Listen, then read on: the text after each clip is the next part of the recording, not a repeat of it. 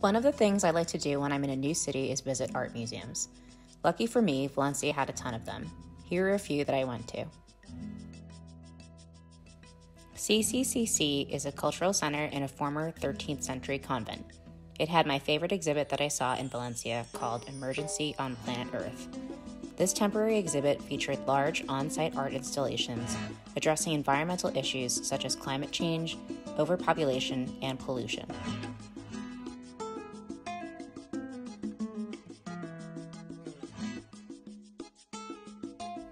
The Museum of Fine Arts houses a variety of Valencian and international works, including rooms dedicated to Joaquin Sorolla and Francisco de Goya.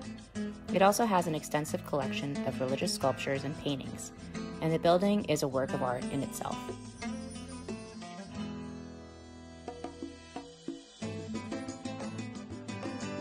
The Fallas Museum shares the history and art of Valencia's largest festival, Las Fallas. The origin of this festival comes from the tradition of burning wood to celebrate the arrival of spring.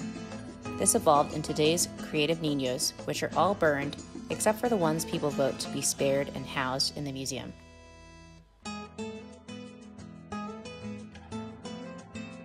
The Valencia Institute of Modern Art features a permanent collection of more than 11,000 works.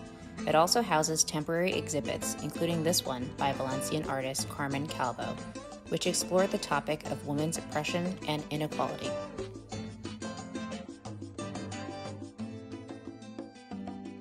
Bombas Gens is a contemporary art gallery located in a converted hydraulic pump factory. Admission was free and gave you access to two exhibits as well as the garden.